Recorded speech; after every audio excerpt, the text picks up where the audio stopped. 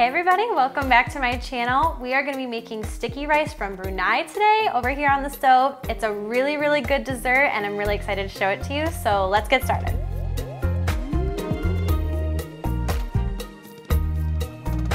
So to start off this recipe, I took one and a half cups of short grain white rice and I soaked them for eight hours overnight in two cups of water. So that's really gonna soften the rice up and get it ready for us to start cooking it.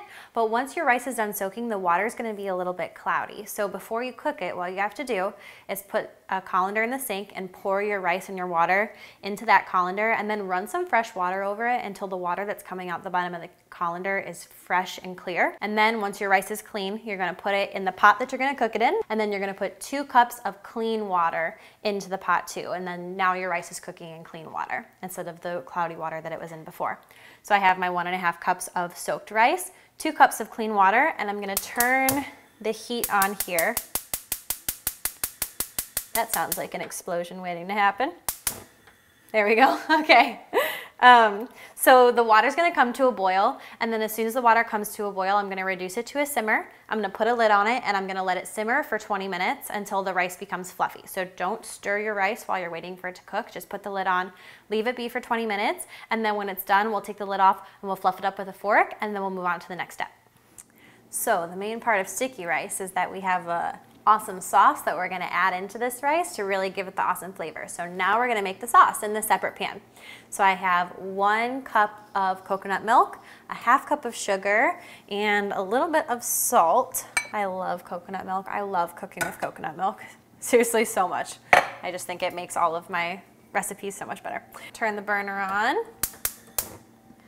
and we'll whisk them to combine.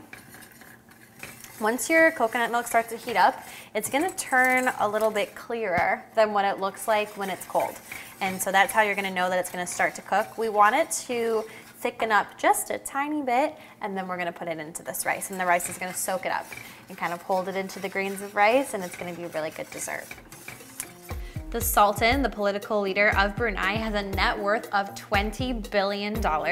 He lives in a palace that is 2,152,782 square feet and it contains 1,788 rooms. And a lot of times when people talk about the Sultan of Brunei, they only talk about how he's very rich and how he has a lavish lifestyle. But the citizens of Brunei are also very vocal about the fact that their Sultan is very generous. He gives free healthcare to all, medicine is very, very affordable affordable um, to all the citizens of Brunei, and he opens up his home for prayer and celebration to everyone. So our rice cooked on the stove, our coconut milk cooked on the stove, and then we added them together. I let it sit for about 10 minutes with the cover on, and all of that liquid from the coconut milk and the sugar really soaked into the rice. It's looking really nice, and I'm really excited to try it. But first, we need to prepare our mango. So mangoes are kind of hard to cut, and I actually have had a really hard time across my life figuring out how to cook, uh, cut a mango. But I'm gonna show you how I finally figured out how to do it. So I have my knife, I have my cutting board, and I have my mango.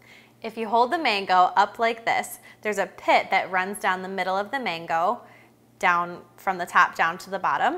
So you're gonna need to cut the sides off of the mango and leave the pit right there in the middle.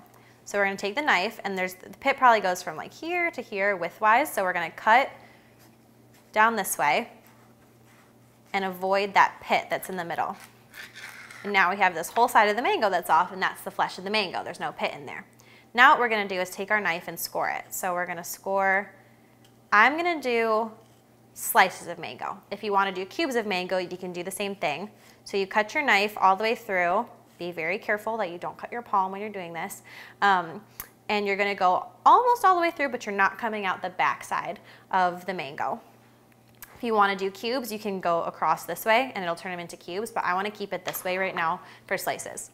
Now I'm gonna take my spoon and I'm just gonna dig along the mango and scoop out all of that flesh that we just cut.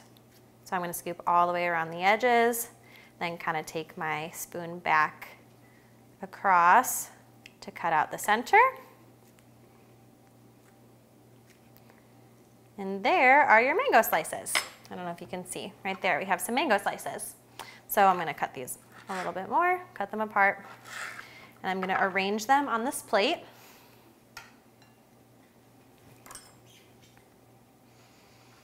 Look at this plating technique right here. Michelin stars, am I right? Okay. All right, so I'm gonna scoop one half cup of this coconut milk rice. And then you just kind of put a little dollop there on your plate like that. You have your mangoes, and then you have some toasted sesame seeds that I'm gonna sprinkle on top. There you have it, folks. Mango with sticky rice. So now I get to try it, obviously, best part. Um, I'm gonna take a little scoop of mango.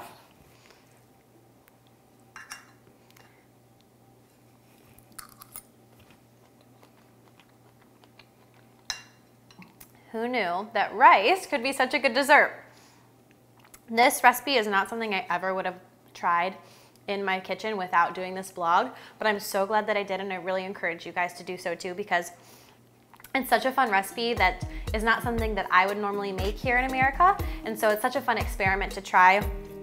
I've had a really good time doing it. So if you want to see the full recipe, read a blog post about how to make this too, you can go to my website, www.foreignfork.com slash sticky dash rice. And that URL is going to be down in the link below too. So you can click there and check it out. Thanks for stopping by and I will see you again really soon. So if y'all are really liking these videos and you want to see more of them, then remember to just hit the subscribe button down there and then that way you can make sure not to miss anything else.